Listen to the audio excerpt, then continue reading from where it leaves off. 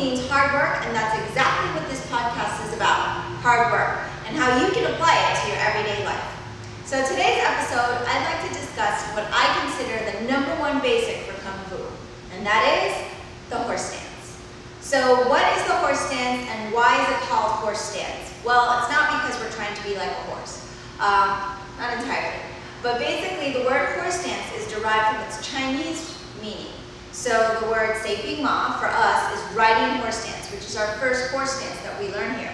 The horse stance is pretty much a wide squat with your feet forward and your bent knees bent, back straight, and you descend into the best horse stance you can do, um, which also resembles riding horse stance, right? So it resembles riding a horse.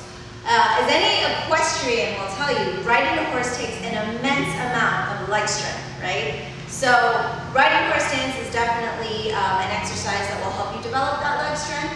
Uh, in addition, what's important for us as martial artists is that we stay rooted or grounded and connected to the ground. So being rooted and connected to the ground during that stance and all of our stances really is important not just for balance, but also power generation. So staying rooted, the more rooted you are, the more power you can generate as well. So it's a great exercise.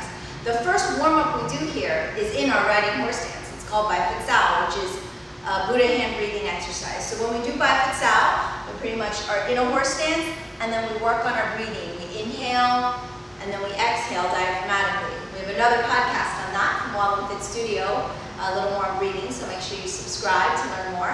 Um, but back to the horse stance, the reason we do the, the breathing exercise is our first warm-up is one, not only does it warm up your entire body, working on your breathing, activating your legs, getting them stronger, uh, it also kind of puts you in the right mindset. So doing this exercise is very good for concentration and focus.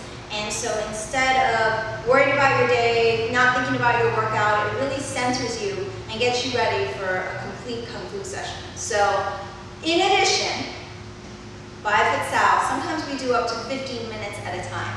And that takes a lot of patience. And we can all develop a little bit more patience, right? So the riding horse stance or horse stance important exercise. It is definitely a simple exercise, but it is not easy It's very challenging, and it's absolutely hard work. So thank you for joining us. Please subscribe to our podcast and share it. Um, and keep up the.